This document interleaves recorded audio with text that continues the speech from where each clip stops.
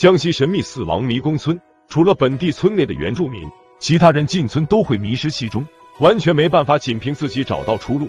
有不信邪的专家擅闯后，不仅见到了恐怖一幕，还发现一个古村隐藏百年的秘密。村子似乎埋藏着巨大法阵。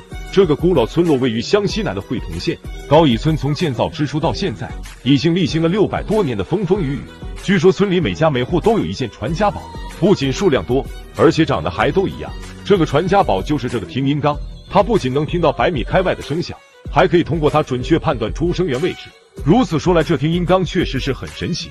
可按理说，这样的传家宝应该妥善收藏起来，以防有心之人觊觎。可高乙村的村民却将这传家宝摆在大庭广众下，还称听音缸是最没用的传家宝。原来高乙村从未遭到过小偷或土匪的侵扰，就连战乱时期，高乙村也像是世外桃源一样，从未有外村人进来偷东西。如果只依靠听音缸就让人望而却步，那未免有些太令人难以相信。这背后究竟隐藏着什么秘密呢？当地记者听闻消息，对高乙村产生了浓厚的兴趣，于是驱车来到了村里。当见到村子的真容，记者瞬间明白了高乙村村民的来由。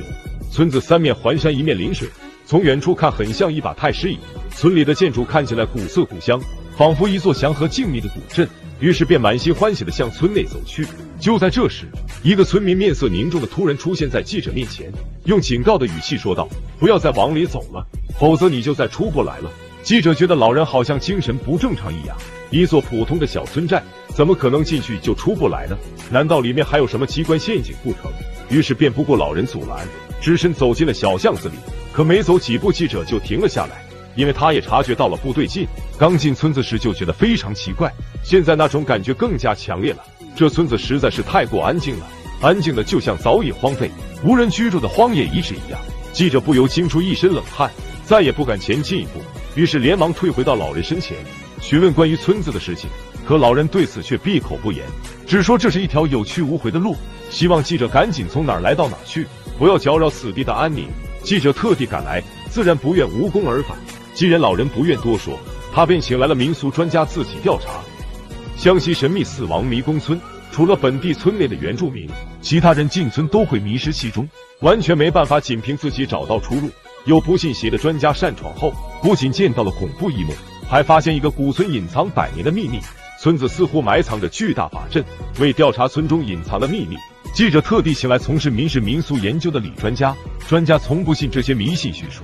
大方表示天下就没有走不通的路，于是便信誓旦旦地走进了高乙村。通过小道两旁的建筑，他发现村内的路况地形的确错综复杂，两侧建筑房屋长得几乎一样，很容易让人失去方向。还没走多久，原本自信满满的专家就开始有些出汗，脸上也露出难色。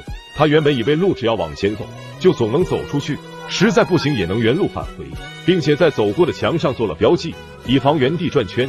可谁知这才没走多久。自己就已经迷路了，面前墙上赫然就是他先前留的标记。村子里处处透着诡异。专家接着又走了近一小时，心里顿时凉了半截。别说出口在哪，就连自己身在何处他都不清楚。而且他因为太过自信，进村时连手机都没带。如果真找不到出口，怕真有可能饿死在这儿。原来我以为一个乡下的地方啊，不至于走不出去。结果到了高野那个巷子里面呢，确实走不出去了。慢慢的，有村里人开始出来看热闹。无奈，李教授只得求助周围村民。随着村民带领，他这才终于走出了村子。但在调查过程中，他也并不是一无所获。李教授发现，在每个巷道口都有一个被当地人供奉的土地庙，古庙看起来非常诡异。他仔细数了数，高义村的土地庙总共有四十八个。看着这些土地庙，专家陷入了沉思，因为他觉得这些土地庙之间必然存在着某些联系。于是便在图纸上标记出所有土地庙的方位。当看到连在一起的图案时，就连记者也不由倒吸一口凉气。图纸上赫然出现一朵五瓣梅花，每个花瓣都代表着古村向外界的出口。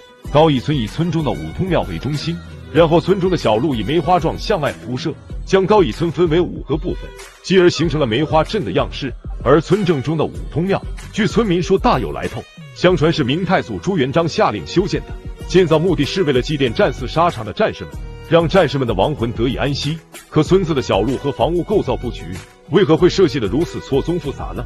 湘西神秘死亡迷宫村，除了本地村内的原住民，其他人进村都会迷失其中，完全没办法仅凭自己找到出路。专家调查后发现，村子布局竟是一个梅花法阵。为证实自己的这个发现，李教授还拿出了高乙村的地图，和他手里的图案进行对比，发现这不能说是一模一样，简直就是一个模子里刻出来的。错综复杂的梅花阵，也许就是高乙村六百多年来从未有外人偷想的原因。但一个普通的村落，为何会建得这么复杂？在村民的带领下，专家对附近住户进行了走访调查后，他发现高乙村并非某个人或者某个时间修建的，而是经过上百年时间。才逐渐形成了如今的规模。相传在清朝嘉靖年间，有一伙到处流窜的土匪，不知天高地厚的打起了高乙村的主意。当时的高乙村在当地可谓是威名远扬，当地土匪头子都绕着他们走。也就这些外来人不知者无畏，以为这么多房子，他们就能发一笔横财。可没想到，他们才刚一进村，就感觉到了异常。走了大半天，他们就像是在原地转圈，想出村都不行。后来土匪头子的耐心被逐渐消耗殆尽。于是便不管三七二十一，想随便闯入一家开始扫荡。然而令他们没想到的是，这些房屋建筑竟如此坚固，无论他们如何敲敲打打，都难以破门而入。